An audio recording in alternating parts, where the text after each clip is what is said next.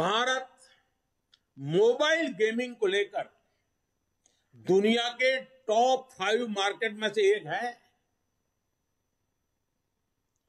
आकलन है कि आने वाले दो सालों में ये सेक्टर तीन लाख करोड़ रुपए का हो जाएगा। अब मुझे बताइए, ये गेमिंग हम बच्चों को रोक नहीं पाएँगे। परिवार में बच्चा मोबाइल फ़ोन पर गेम खेल रहा है, नहीं रोक पाएँगे।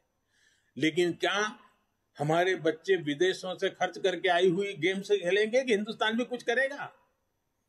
और इसलिए हमारे देश की प्रतिभा को मौका मिले इनोवेट करने का अवसर मिले। इस सेक्टर में क्रिएट इन इंडिया और ब्रांड इंडिया को सशक्त करने का भरपूर पोटेंशियल है। भारत को ग्लोबल गेम डेवलपर्स और गेमिंग सर्विस का हब बनाने के लिए इस बजट में टास्क फोर्स के गठन की बात की गई है।